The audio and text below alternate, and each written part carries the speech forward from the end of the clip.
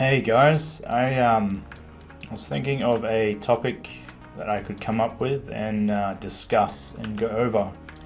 It is a topic about um, the predictability of detailing on something that is um, a kind of robot, a, it could be even a piece of clothing, um, but there's, there's certain um, predictability flow uh, that you see for detailing. It's, it's basically, you see something like this, right?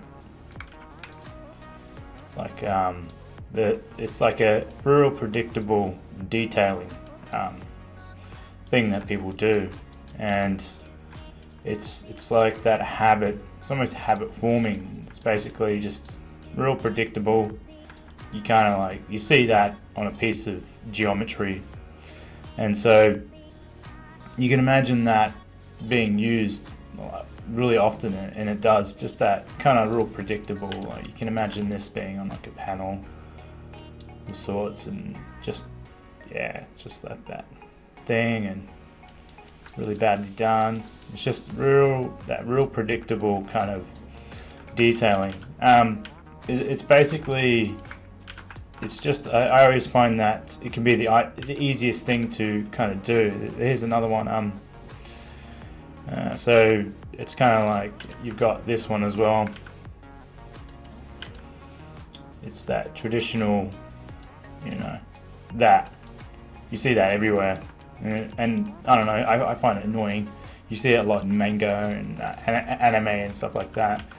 And I, I just wanted to show that like yeah, you could do you can do you can do things slightly different. You can break away from that real predictable um, type of detailing, right? So it, it's pretty easy if you just put a bit of thought into it, right? And so that kind of you can see that there. It's already kind of looking different to the just the you know I'll place it. I'll look. I'll do the three holes. You know that that predictability, and it's just it's kind of like, well, if you had that there, it kind of looks like there's some, there's, there's something fastened in the middle here.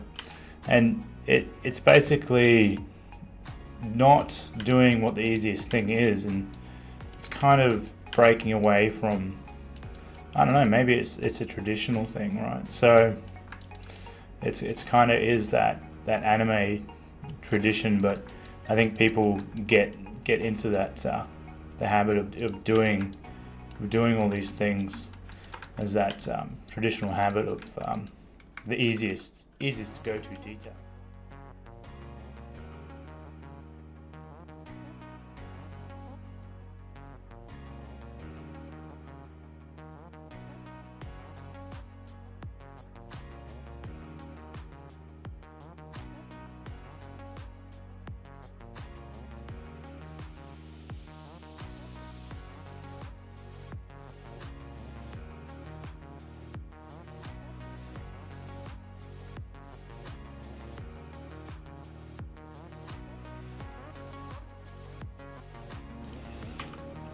Say we, we do something like that, right? And that already looks a lot more more different to what you what you uh, really predictably want to place there.